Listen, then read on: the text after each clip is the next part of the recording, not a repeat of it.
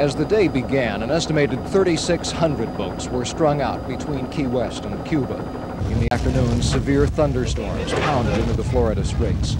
The rain came in sheets. Winds were clocked at 79 miles per hour as the impromptu evacuation fleet tried to make it across 90 miles of treacherous ocean. Some boats, none of the smallest ones, made it back safely to Key West without the refugees they had been planning to pick up.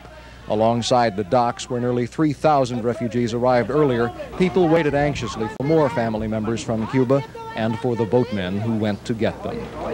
We saw it now and now it's disappearing, so they must be in the water. One of the boatmen, the husband of Maritza Reyes of Miami. Of course, he's out there on a 22-foot boat.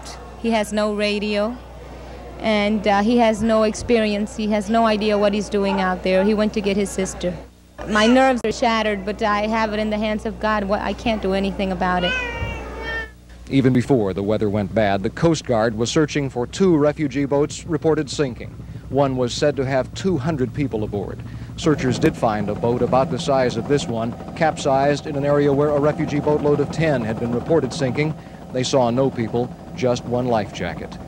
The boat lift has no real organization and is in defiance of the U.S. government, so no one has been keeping a list of all the boats involved. It could be days before some even are missed, and more bad weather is expected. Phil Bremen, NBC News, Key West.